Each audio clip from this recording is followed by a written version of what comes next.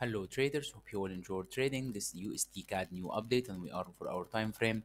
As we see, we have this sideway and I think the price make uh, double top pattern. Also daily time frame, we have the same double top and we have uh, this major level of support on point 26400.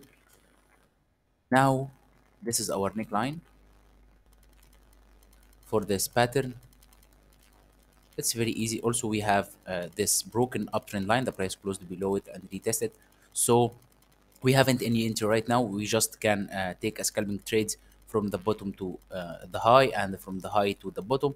But i prefer to waiting the price to close below this downtrend line and then we can enter a trade with this pattern. Pattern uh, it's a very helpful and uh, give us a good confirmation. So now as i said no entry. Uh, anyone want to scalp this we can uh, you can trade from here to high and high uh, from the high to the low. And if the price close above you can continue. If the price close below you can continue also. I prefer to waiting the price to close and give uh, me a, a clear confirmation.